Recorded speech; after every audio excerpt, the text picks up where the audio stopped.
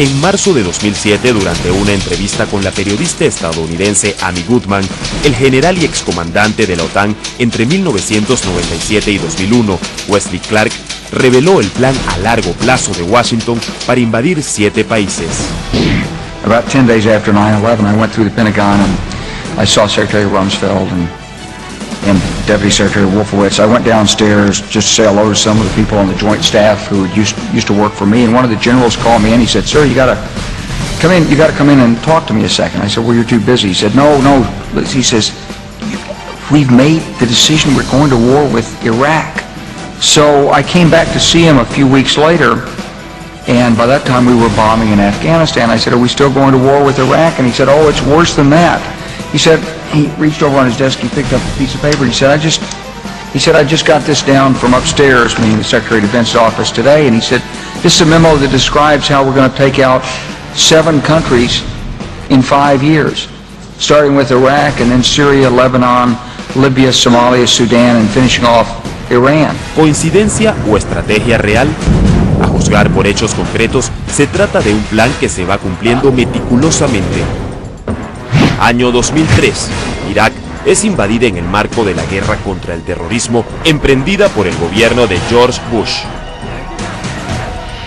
Año 2006. Líbano es atacado por Israel bajo la operación Recompensa Justa. El ejército israelí ensayó contra el pueblo libanés su más sofisticado arsenal bélico. Año 2006. Somalia es víctima de la agresión de Etiopía.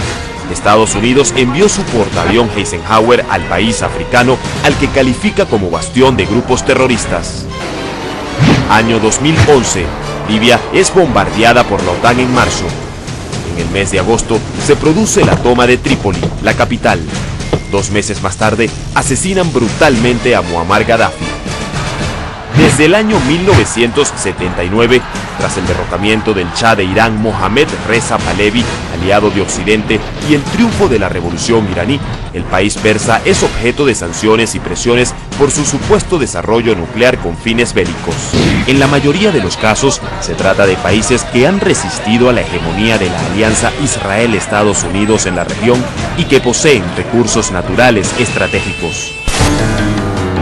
Desde marzo de 2011, el hostigamiento apunta hacia Siria, otro de los países que, de acuerdo con el general Wesley Clark, figura en la lista negra del Pentágono. ¿Se está repitiendo con Siria el mismo guion que terminó con la toma de Libia?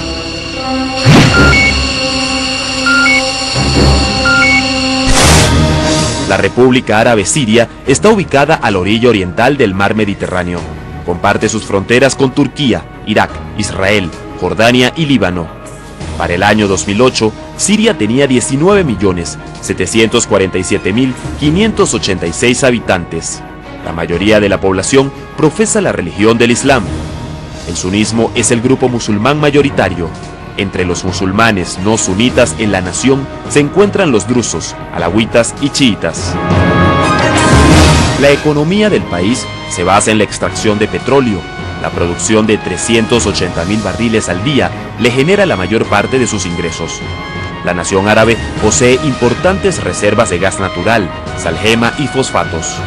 Los derechos del paso de petróleo foráneo por sus oleoductos le generan altos dividendos.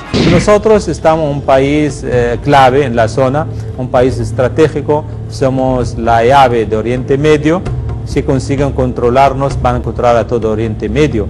La ubicación de Siria en el mapa atrae las miradas de países occidentales, asiáticos y del propio Oriente Medio. Por el país árabe cruzan dos oleoductos provenientes de Irak, uno pasa por la ciudad de Homs y el otro por los altos del Golán, territorio arrebatado por Israel a Siria en la Guerra de los Seis Días. Ambos desembocan en el Mediterráneo.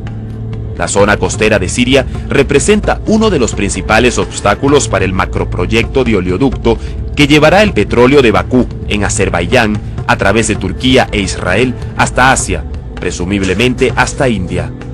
Parte de este proyecto se encuentra culminado. Su recorrido atraviesa Azerbaiyán, Georgia y Turquía, todos aliados de la OTAN. El oleoducto inaugurado en julio de 2006 es considerado el más estratégico del mundo, ya que surte a los mercados occidentales. Sin embargo, para llevar ese petróleo desde Turquía a través de Israel hasta Asia, es necesario atravesar 400 kilómetros de costa siria y libanesa. Estos factores convierten a Siria en un enclave de interés para el Pentágono, que desde hace un tiempo viene hablando de la necesidad de remodelar el mapa del Medio Oriente. El coronel norteamericano retirado Ralph Peters revela que el plan de remodelación de las fronteras de esta región estaría enfocado en crear un gran Líbano que arrebate su costa a Siria, dejándola sin salida al mar.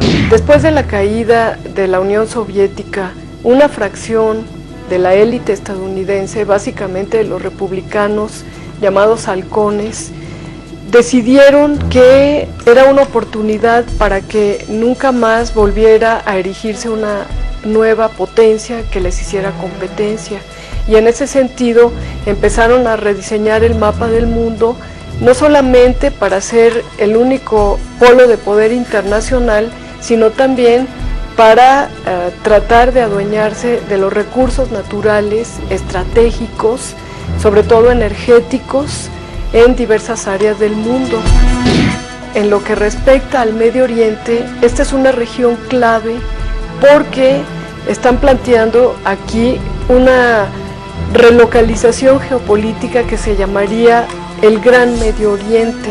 Es muy importante que para esta nueva estrategia que el gobierno de Siria ya no permanezca y que se ponga en su lugar a un gobierno mucho más dócil a los intereses de Washington.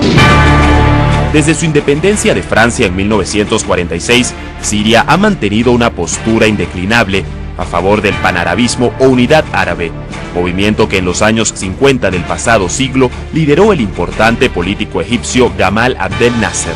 Siria ha apoyado los movimientos de liberación nacional y rechazado sistemáticamente la ocupación israelí en el territorio histórico de Palestina. El problema que nosotros tenemos en la región es la interferencia de los extranjeros las intervenciones muy amplias, sobre todo las intervenciones de Estados Unidos y sus aliados, que eso está en vía del dominio de Estados Unidos sobre la región de Oriente Medio. Asimismo, la, salvar el régimen sionista. Ellos quieren quieren derrotar, digamos, el frente de resistencia frente al régimen sionista. Algunos momentos de la historia siria evidencian la postura de Estados Unidos y sus aliados frente a esta nación árabe. En 1948, Siria hizo parte de las fuerzas árabes que enfrentaron a Israel por la ocupación a Palestina en 1957, denuncia la doctrina Eisenhower promulgada por Estados Unidos para combatir la presencia comunista en Medio Oriente. Desde 1963, el Partido del Renacimiento Árabe Socialista, conocido también como BAS, gobierna la nación. En 1967, tras la derrota de la coalición árabe que vuelve a enfrentar a los israelitas en la Guerra de los Seis Días, Israel toma posiciones en los altos del Golán pertenecientes a Siria.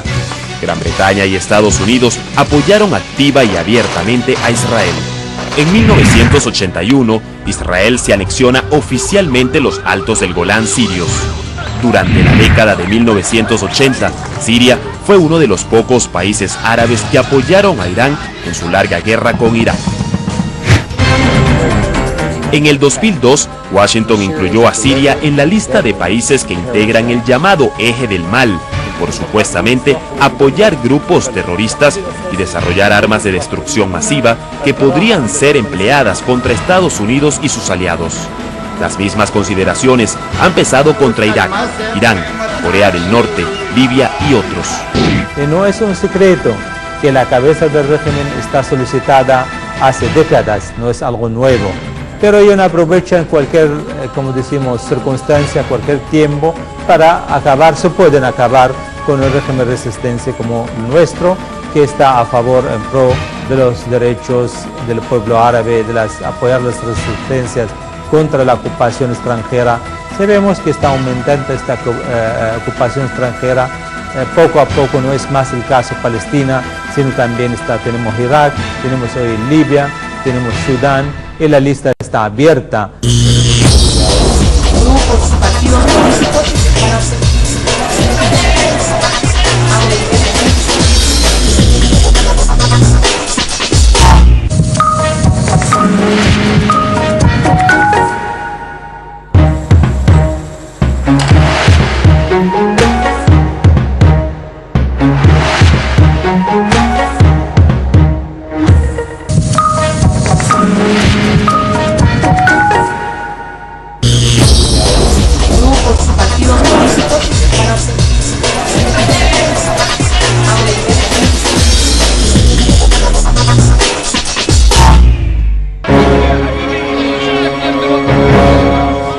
15 de marzo de 2011, Siria ha sido escenario de protestas a favor y en contra del gobierno. Mientras los medios internacionales han privilegiado la matriz de opinión que tiende a mostrar el caso sirio como una rebelión popular generalizada que se inspira y forma parte de la resistencia frente a los gobiernos totalitarios del mundo árabe, muchos especialistas afirman que, en efecto, hay sectores sirios descontentos con el sistema político actual, pero niegan su alcance nacional y los califican de minoritarios. Para otros, el tema de fondo apunta a diferencias religiosas. Algunos añaden que la inconformidad de uno o varios sectores ha sido el caldo de cultivo para inyectar agentes externos armados y desestabilizadores. Entre tanto, Bashar al-Assad ha denunciado reiteradamente que la violencia en las concentraciones es promovida por bandas armadas de mercenarios financiadas desde el exterior. El Estado presume realizar reformas en respuesta a las demandas populares. Sin embargo, la realidad es que las fuerzas de seguridad y los servicios de inteligencia nos reprimen y privan de nuestros derechos y libertades. Queremos manifestar nuestra lealtad a nuestro líder Bashar al-Assad y su plan de reformas. Nos aferramos a la unidad nacional y rechazamos cualquier intervención, ya sea árabe u occidental, y repudiamos las resoluciones del Consejo de Seguridad de la ONU y de la Liga Árabe. Siria es un mosaico de diferentes comunidades y al mismo tiempo un modelo extraordinario en la que todas las comunidades religiosas han coexistido de manera pacífica los unos con los otros desde el siglo VIII. No exactamente uno al lado del otro, pero sí en conjunto.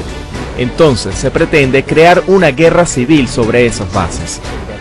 En respuesta a las demandas de algunos sectores de la población, el presidente Al-Assad ha llamado reiteradamente al diálogo y emprendido reformas orientadas en la creación de nuevos partidos políticos y la descentralización del poder.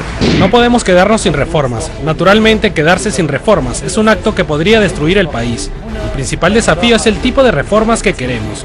Y esto lo determinará el pueblo sirio mediante el debate en torno a las leyes planteadas. Pese a los esfuerzos por atender las demandas de cambio, las fuerzas opositoras siguen organizando manifestaciones fuertemente armadas en las que han muerto tanto población civil como efectivos del ejército sirio, aunque los medios no mencionen a estos últimos en sus noticias la mayoría de las veces. Consideramos que el pueblo de Siria es muy cercano al pueblo turco. Debido a que los consideramos nuestros hermanos y hermanas, no podemos permanecer sin reaccionar ante lo que está ocurriendo allá hacemos un llamado para que no hayan más muertes de civiles y para que esta situación sea detenida tan pronto como sea posible.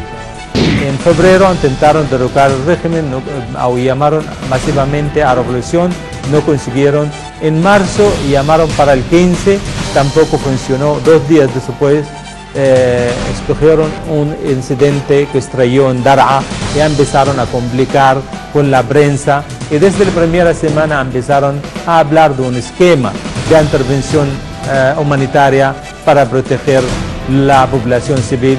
En aquel momento hubo menos de cuatro muertos. Desde la comunidad internacional también han habido diferentes posturas. Estados Unidos y la Unión Europea impusieron durante el 2011 a Siria nuevas sanciones, particularmente económicas. En el mes de mayo de 2011, Washington bloqueó las cuentas y propiedades que tienen en Estados Unidos el mandatario sirio y otros seis funcionarios de alto nivel de su gobierno. El discurso enfilado contra Siria desde la Casa Blanca ha tenido como principal propósito la división de Bashar al-Assad. Si ha explotado la violencia en Siria, eso no es culpa de la Liga Árabe. Tenemos que culpar a quienes en realidad son responsables, y en este caso es al-Assad. Es imposible culpar a la presión ejercida por otros países. Es más, creemos que la presión internacional sobre Al-Assad en realidad está teniendo efecto en el sentido que le está ayudando a Al-Assad a darse cuenta y facilitarle la decisión de tener que renunciar. Incluso, la secretaria de Estado de Estados Unidos, Hillary Clinton, afirmó en el mes de noviembre durante una entrevista a la cadena NBC sobre la posibilidad de una guerra civil en Siria. Creo que podría haber una guerra civil con una oposición muy centrada, bien armada y que con el tiempo estará bien financiada y que está, si no dirigida, ciertamente influida por desertores del ejército. Pero las presiones de Washington contra Siria no son recientes. En 2002 fue presentada ante el Congreso y el Senado estadounidense la ley llamada el Acta de la Responsabilidad Siria y de la Restauración de la Soberanía Libanesa, aprobada en ambas cámaras en diciembre de 2003. Dicha ley dicta sanciones económicas norteamericanas contra Siria desde el 11 de mayo de 2004 por considerar al país árabe como una amenaza para la seguridad nacional norteamericana, para su política exterior y para su economía. La normativa autoriza la confiscación de los bienes y propiedades de ciertas personalidades sirias y prohíbe la exportación y la reexportación de productos al país. Una política similar fue aplicada contra Cuba en los años 60 del pasado siglo y en el caso de Irak fue implementada justo antes de ser invadido y ocupado militarmente. A las presiones contra Siria en materia económica se unió la Liga Árabe. 19 de sus 22 miembros votaron a favor de suspender a Damasco de la organización. Es de esperarse que en el problema de Siria, en lugar de apoyar al presidente sirio, que pues es constitucional y legalmente presidente de su país, están llevando a cabo una política de eh, apoyo a las potencias occidentales en contra del interés nacional de Siria. Esto lo vimos también con Libia. Fue el mismo patrón de actuación.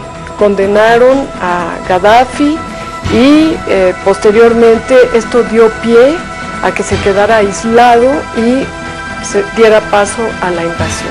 Desde Siria se ha denunciado y detenido la incursión fronteriza de grupos armados procedentes de Turquía. Las autoridades del país vecino han negado la información.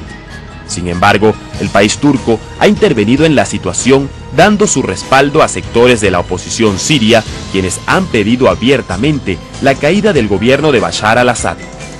En Estambul se formó un autodenominado Consejo Nacional de Transición Sirio. Ese tipo de reuniones no están prohibidas en Turquía. No hay ninguna razón que impida la organización de este tipo de reuniones. No existe ninguna base o marco jurídico que impida la organización de este tipo de reuniones en Turquía. Turquía en este caso está infringiendo uno de los principios importantes que no meterse en los asuntos internos de los demás. En enero de 2004, Bashar al-Assad se convirtió en el primer gobernante sirio en visitar a Turquía en un viaje que marcó el inicio del deshielo de las relaciones con Ankara para ese momento. Sin embargo, desde marzo de 2011, Turquía se unió a las presiones internacionales contra Siria.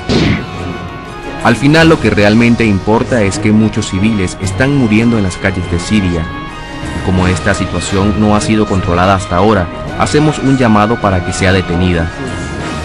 Pienso que no es importante cómo ocurrió todo esto, o si esta situación fue organizada o no. Pero no todo el Medio Oriente está en contra de Siria. Es el caso de Irán, otro de los países amenazados por la Casa Blanca y la OTAN que mantiene firme su rechazo a la injerencia externa en la región, sea cual fuere el argumento. Siria es la puerta para entrar a Irán. Hay un acuerdo entre Irán y Siria de ayuda mutua y de cooperación militar. Si Siria eh, es desestabilizada, entonces Irán queda más aislado en la zona y desde luego esto favorecería los intereses de este nuevo diseño estratégico del Gran Medio Oriente, porque entonces estos gobiernos podrían más fácilmente cooperar con las potencias occidentales que básicamente aquí tienen dos objetivos. Por una parte conseguir el preciado petróleo, el gas, que es tan importante para las economías occidentales, pero por otra parte también sería una manera de seguir tendiendo el cerco hacia China y Rusia. Durante meses, las naciones occidentales han intentado que el Consejo de Seguridad de Naciones Unidas adopte una firme postura contra Siria que comience por sancionar y termine por intervenir. El argumento descansa en los informes de la ONU, que aseguran que el gobierno de Bashar al-Assad reprime al pueblo sirio. Sin embargo, hasta el momento, el poder de veto de Rusia y China han logrado blindar a Siria de posibles sanciones por violación a los derechos humanos. De hecho, Moscú ya envió barcos de guerra a las aguas territoriales sirias para proteger a la nación árabe de cualquier ataque de las fuerzas de la OTAN y evitar una agresión militar prevista bajo el pretexto de una intervención humanitaria. Para Rusia, Siria es muy importante porque se encuentra en un lugar clave geopolítico en donde eh, realmente puede alcanzar Medio Oriente, puede ver el Asia Central y Europa. Con el ejemplo de Libia, pues Rusia considera eh, que sería un paso hacia la invasión. Incluso las potencias occidentales están planteando también crear una zona restringida de vuelo, pero eso sería ya el inicio de un ataque hacia este país.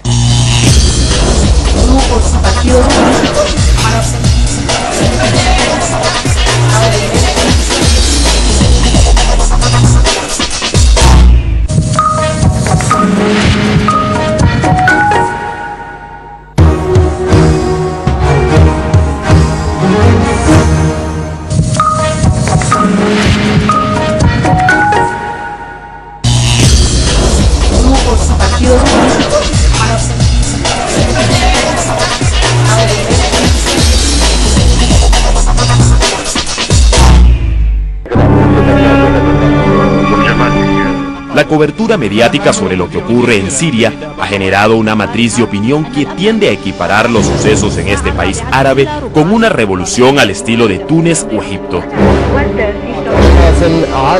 Desde los medios de comunicación, principalmente árabes, se ha responsabilizado directamente a las fuerzas militares sirias del número de víctimas civiles en medio de las protestas. Según las Naciones Unidas, más de 5.000 personas han muerto por la represión de los uniformados. Insisten en que el ejército mató a mi niño. No es cierto, el ejército no mata. El ejército no mata, el ejército nos protege. Los soldados sacrifican sus vidas por defendernos de los armados.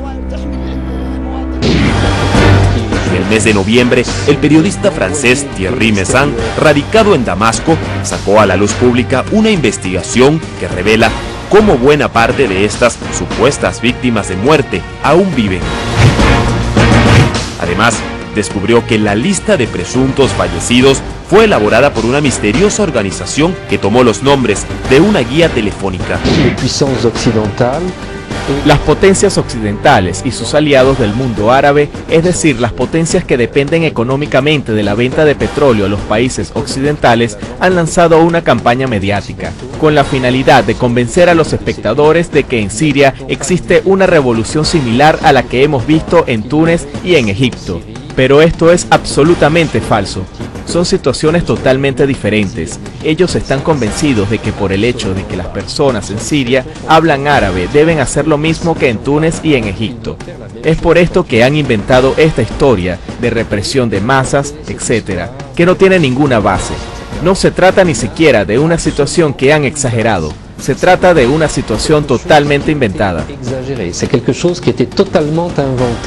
La televisora estatal siria ha realizado un monitoreo de las informaciones publicadas por medios árabes como Al Jazeera y Al Arabiya sobre la situación en el país del Medio Oriente durante los últimos meses. El material audiovisual desmonta la manipulación mediática sobre muchas supuestas víctimas a manos del ejército sirio.